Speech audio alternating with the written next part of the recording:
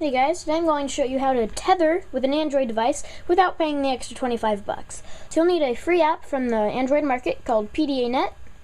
And uh, I don't only know how to do this with the uh, Bluetooth DUN. The USB tether requires an extra plugin, so my Mac has Bluetooth, and this I haven't figured out for PC yet, but I am going to uh, show you for Mac because I know how that works.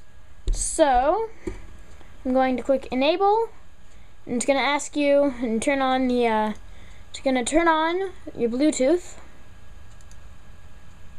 And then, okay. And now you come over to your Mac, open up System Preferences. I'm just going to set the phone down.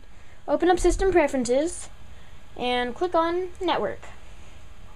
Now click on Bluetooth DUN over here. Then click Set up Bluetooth device. And then when your device shows up there, under smartphone probably, click it and click continue. You'll do its connecty stuff. And then your phone will beep saying that you have a pairing request. So, pairing request. Pair.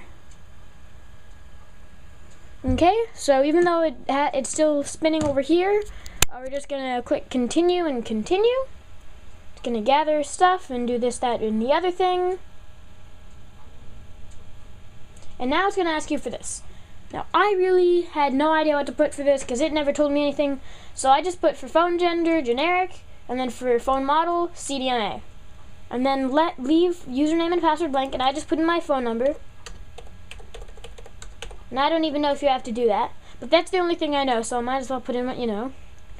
And uh, click continue and quit. And then connect. So it should connect.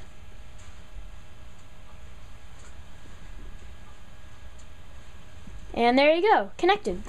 So before, this is what Google would do. And now, I'm on the internet, and I'm not connected to Wi-Fi. See, look, I'm only using the Bluetooth DUN. Well, there you go. That's how to tether on your Android device. Now, of course, with Android, you can here it shows you how much you've used and how many connections and all that it, and all that good info. So now you can click home and tethering will still work. So you can be doing whatever you want on the phone and then be doing whatever you want on the internet on your computer while you're on the road. So that's simply how to tether using Android and Bluetooth on a Mac, and I don't know how to do it on a PC. Thanks for watching.